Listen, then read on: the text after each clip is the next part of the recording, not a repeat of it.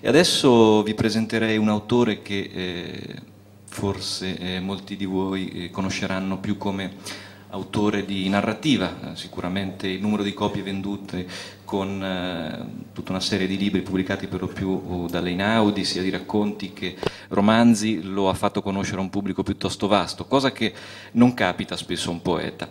Eppure chi conosce la narrativa dell'autore che stiamo per far entrare eh, sa che molto del merito di quei romanzi che hanno contribuito a svecchiare la letteratura italiana degli ultimi anni è dovuto proprio a una officina laboratoriale eh, poetica, perché è dalla poesia che viene l'autore che sta per entrare. E ci fa piacere eh, sapere che eh, molte volte eh, abbia la voglia di eh, tornare indietro a questo primo e più grande amore che è quello della poesia. Ieri eh, Lello Voce nel presentare Sara Ventroni ha detto che eh, con Sara Ventroni davvero si può sperare per il futuro della poesia, io credo che eh, con il Signore che sta per entrare su questo palco invece mh, possiamo essere abbastanza sicuri che la poesia italiana ha un presente. E adesso non resta che dire il nome, lo sapete già perché tanto è scritto sul programma, comunque è Aldo 9.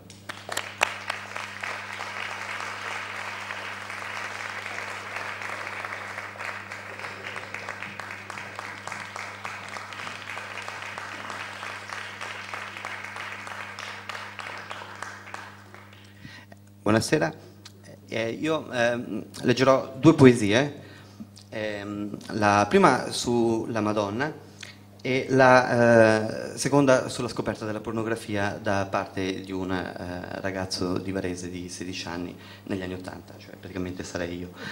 E, mh, mm, l'accostamento non ritengo sia mh, mm, blasfemo perché nella vita ci sono mh, mm, molte cose e anche eh, interessanti ma diverse. Madre di Dio. Madre del silenzio che nella notte rovescia le città da capo a fondo, quando, pregno di spazio, il nulla smangia i bordi delle strade, il nulla smangia i sogni dei bambini, quando i lampioni gridano più neri del buio che ci spinge all'indomani, uguale a ieri il nulla delle strade, ai sogni dei bambini, quando gli occhi dei barboni alla stazione centrale, degli impiegati nelle loro stanze, nel nulla dei bambini, nelle strade deserte, ci accompagna all'indomani, dalle edicole chiuse nel pastrano della notte, nel vuoto delle strade, nel nero dell'asfalto che ci smangia, la faccia tra le case, deserte e ci racconta l'indomani. Eterna Regina, nostra Avvocata, Madre di Misericordia, salve, nostra Avvocata, nostra giaculatoria sotterranea, come adesso si frantuma l'universo e si ripete uguale adesso come nei secoli dei secoli, sgranando rosari e treni, abissi, conti correnti, liste della spesa, conti correnti, liste della spesa.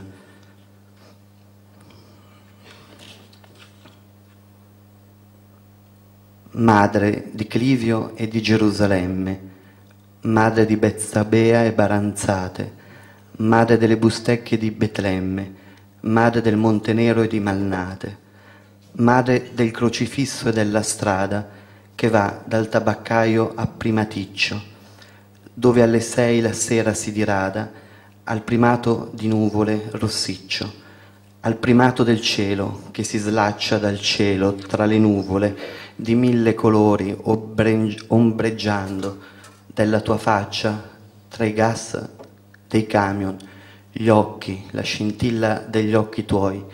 Madre, prima che taccia la sera, madre, abbracciami.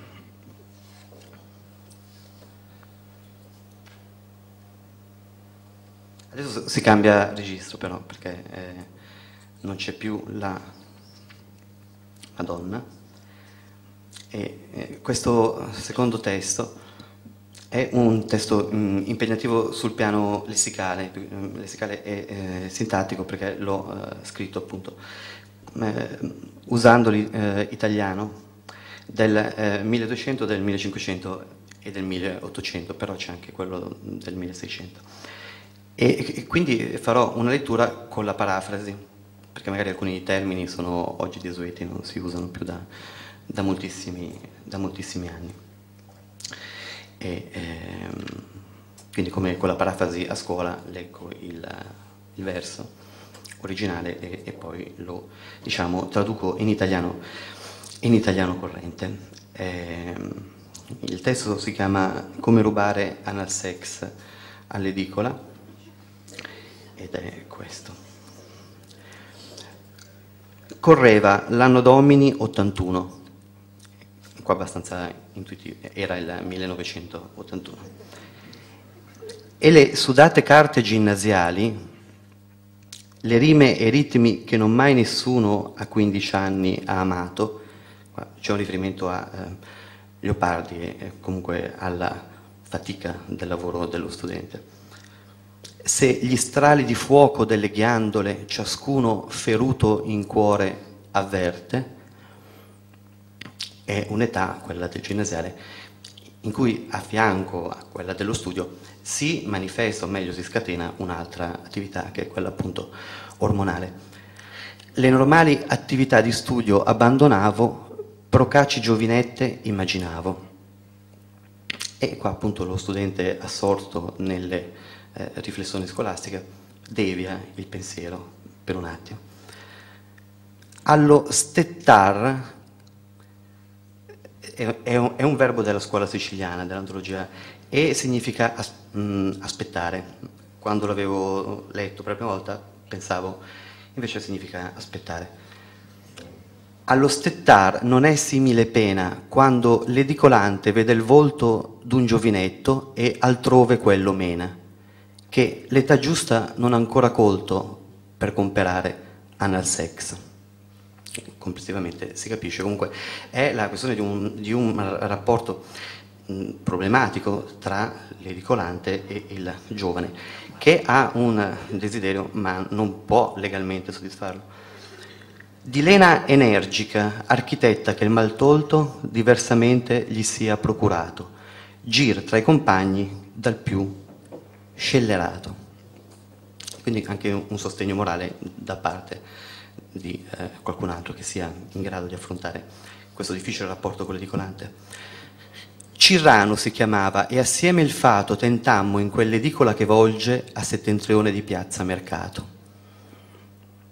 Qua, adesso, siccome non siete tutti di Varese, penso è, è difficile visualizzare la uh, scena, però c'è appunto la piazza Mercato uh, principale e c'è questa edicola dove negli anni Ottanta si Luogo è all'inferno detto malebolge che ci attendeva ed ero emozionato di un'emozione che tutto travolge, il fascino sottile del peccato. Cirano, intanto, si era avvicinato. La prossemica, la prospettiva dei corpi eh, di fronte al, all'edicola, i giovanotti che stanno per compiere questa azione. O frate, disse al giornalaio, dammi il numero di ottobre di gioielli di Rackham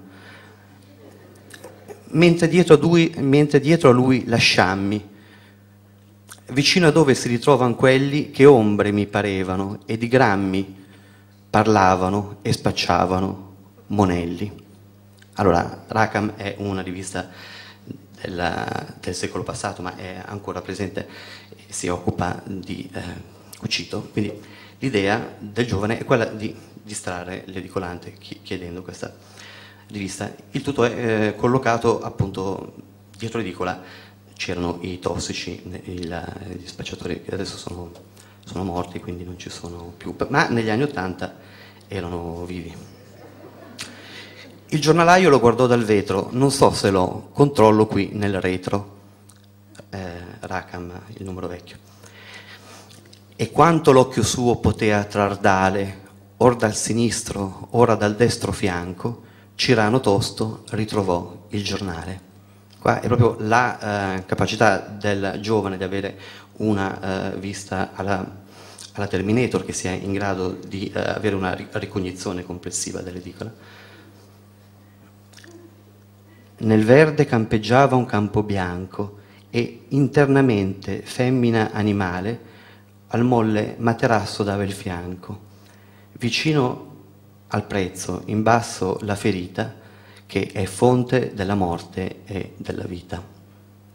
Questa ferita è allegoricamente un oggetto di interesse. Fiore fosco a due petali, profondo, desili steli che l'amore accocca, dove si annida ogni desio profondo, tepido in giù della sottile ciocca. In te, per te, nell'empito fecondo, la scintilla di vita umida scocca. Coperta da una casta peccettina, amo la figa sulla copertina. In questo caso la parafrasi è all'interno dell'ottava, perché gli, gli ultimi due versi spiegano i precedenti.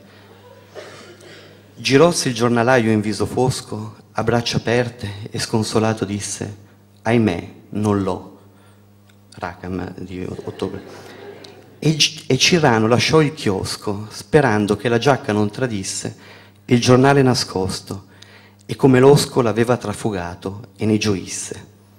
Si incamminò verso di me felice, siccome Dante fe vista Beatrice. Quindi il movimento era stato molto, molto rapido, anal sex c'era.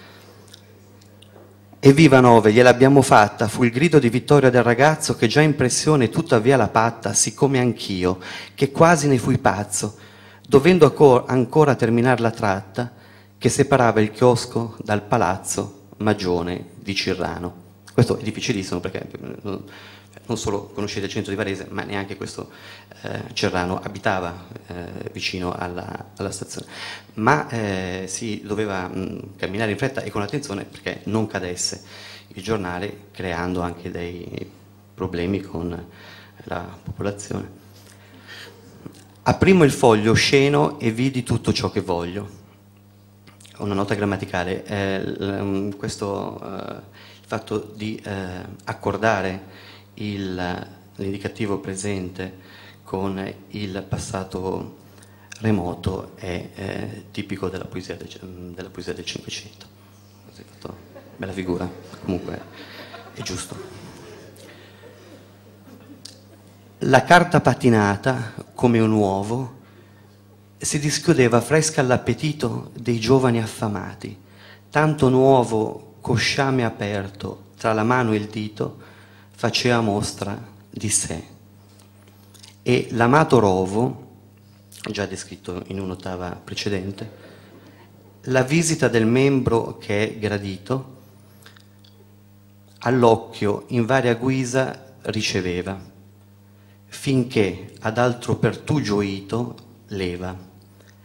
E all'interno del, dell'esibizione di questo atto attraverso il quale avviene la procreazione e anche la eh, procrastinazione della vita sulla terra. C'erano diverse forme, ma anche la eh, possibilità di ire appunto ad altro pertugio e la rivista stessa con eh, Anal Sex richiamava proprio questa eh, possibilità di una differente scoperta da parte di due ragazzi della, della pornografia. Grazie, buonasera.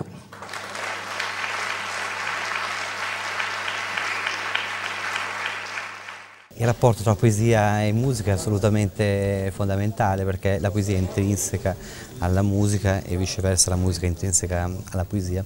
Entrambi si basano sul eh, ritmo, su una eh, progressione di tempi attraverso i quali avviene avviene l'espressione e tanto per la poesia quanto per la musica quello che poi è, è fondamentale è proprio il senso del eh, ritmo che se manca in entrambi manca anche inevitabilmente eh, in qualunque tipo di rappresentazione artistica voglia essere creata. L'esperienza di Corpus nasce dal fatto che sia io che Tiziano Scarpa che Raul Montanari ci siamo resi conto che era tempo che eh, scrivevamo poesie partendo mh, mm, da canzoni eh, pop, allora abbiamo unito questa esperienza in comune, l'abbiamo prima trasformata in libro e poi in uno spettacolo che ha girato tutta l'Italia, abbiamo fatto un centinaio di date, siamo andati anche all'estero a farlo e l'idea era proprio di, eh, quella di fondere la canzone, e usavamo la canzone come base, con la poesia.